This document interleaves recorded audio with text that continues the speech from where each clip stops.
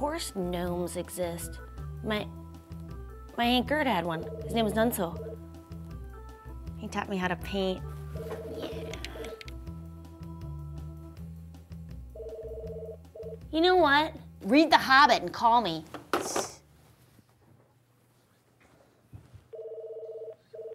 Hi there. I'm uh Hi! I'm here for the I came here for the job interview. Find out about Uh, the Steamer. Oh, you are good. You're perfect. I'm gonna show you your office. Maria, hold my calls. Let me show you your office. my o- I have an office. Oh, I just didn't I don't okay. Hi, Marcus. Here's your office. Now, Steamer, get in there, you douchebag. Mr. Shalek. Dick.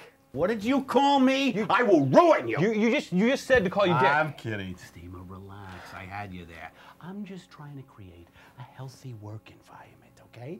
And that's where you come in. When someone in the office has a problem with a client or a family member, or when they're driving here and some asshole cuts them off because they're dropping their kids off at school, the faggot. That's where you come in. People let steam off on you. Like this. Watch this. Hey, Andy! I- Is this the guy? Yeah. hey, I'm Jay. I Get just your hand out of my face. Oh, you got some nerve, Gary. No, my name's Jay. I just Coming into my Jay. house?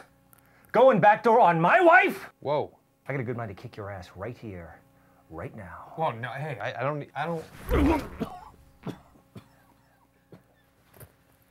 See you, Andy! I don't even know your wife. I don't even know his wife. Yes, you did. You went back door on her, you son of a bitch. I have to work with that guy every day? No, you don't. He doesn't even work here. He's just a friend. He's just been very uptight since his wife cheated on him. So I was doing him a favor. Thank you very much. Okay. You!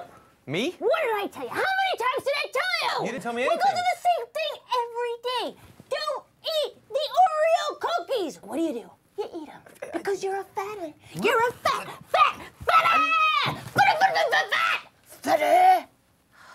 You do it again, and I will rip your tits off.